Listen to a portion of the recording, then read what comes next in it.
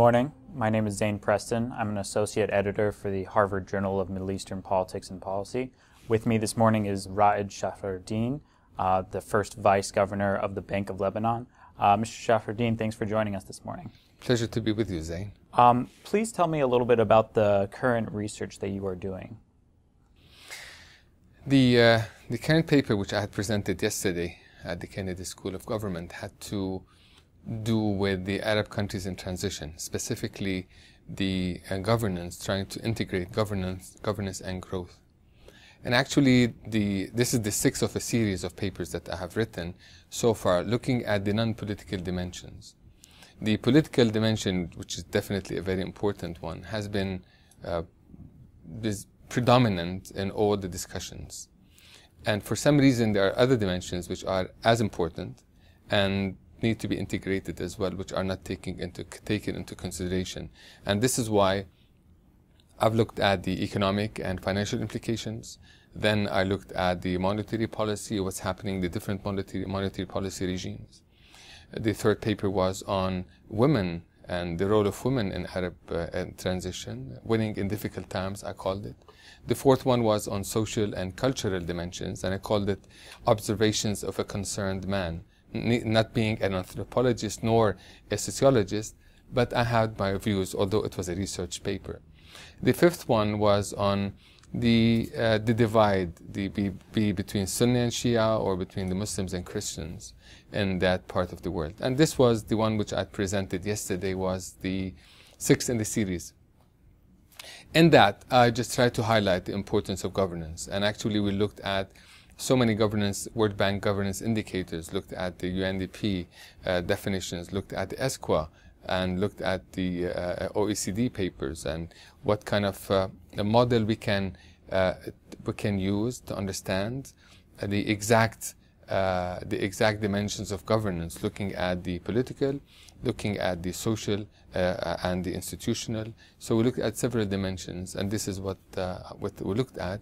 And unfortunately, the none of the Arab countries do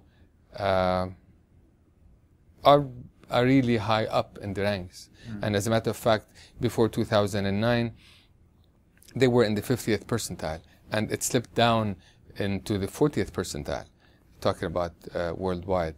And the only one dimension which has improved was the voice and accountability, but certainly because, but that improvement didn't really make up for the deterioration in the other dimensions of the uh, other uh, other uh, indicators. Mm-hmm. So in your paper, you um, you talk about how the, the need for uh, grassroots level changes. What can economic institutions do to bolster these kinds of changes? Looking at it, if you're talking about specifically financial institutions, we can look at it as a matter of fact in two dimensions. One is the financial institutions, which is specifically the banks. Mm-hmm. And we can look at the regulators as well, as we, for, for example, we as a central bank. The financial institutions can do a lot, especially with the badly needed PPP, private-public partnerships. Mm-hmm. And there's a lot of uh, uh, areas that the uh, commercial banks and investment banks, general financial institutions can pitch in, but there should be some plans. So Arab countries in transition should look at those elements. They should look at the transportation. They, they should look at the infrastructure in general, at the uh, uh, education. So there are so many different dimensions they have to look at and have programs ready so that the financial institutions can pitch in. As for the central banks, they can certainly pitch in as well by doing so many, uh, by actually uh, pitching in, for example, the Central Bank of Lebanon did provide a, a stimulus package in 2013 mm. to stimulate the economy because, so this is one of the examples that a central bank can do, can step into the challenge and really pitch in. So what we did is we, threw, we uh, availed to the commercial banks and investment banks in Lebanon a pa stimulus package of around 1.47 billion dollars at 1% interest. They, in turn, have to avail it to the consumers. And, but specifically, it has to be provided in or availed in productive uh, projects. Mm-hmm. Not just just you know, going out and buying cars. They have to be productive, and we were very keen. We looked at uh, specific areas, and they were earmarked for specific sectors of the economy that are more uh, that are productive. Another, and we did the same in eight, and that has contributed actually in 2013 uh, GDP by 1.7% extra to our gross domestic product. Right. And we did the same for 2014 for the current year of a stimulus package of $800 million. Mm. So this is one of the things that a, you know, talking about the economic elements or the specifically the financial institutions can do, be on the regulatory side or the the, uh, uh, commercial side. Great.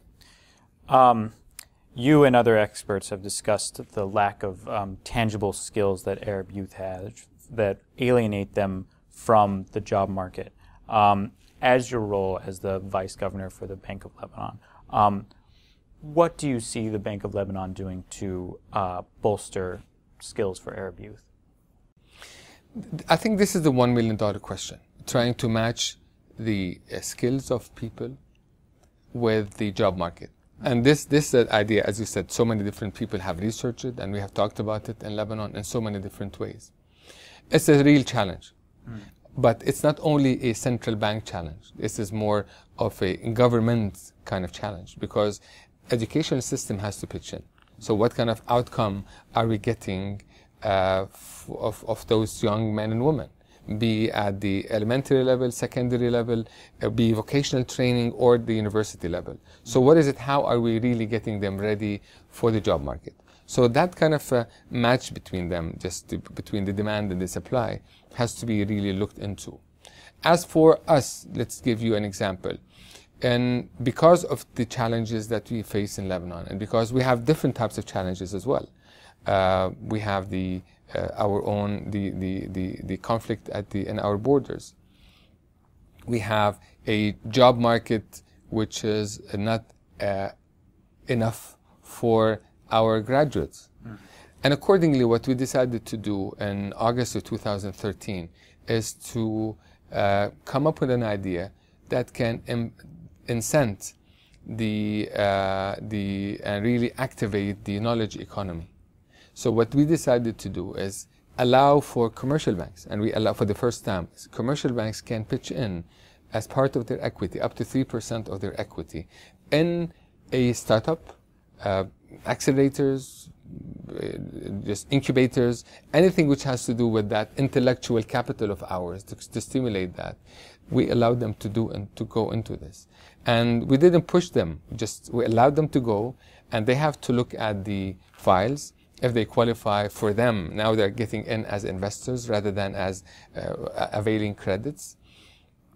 At the same time, we decided that we would guarantee 75% of those loans that are availed to, to those or the, equity participation that is availed to the uh, to those startups.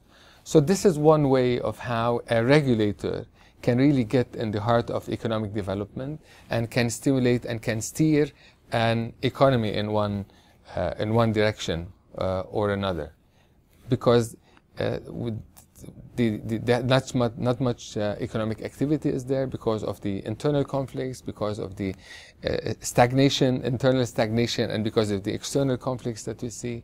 Accordingly, this is what we decided to do. Great. Well, Mr. Charafeddine, thank you for joining us this morning, and uh, good luck for with the rest of your time here. Thank you very much, Zane. Very you. kind of you. Best to you.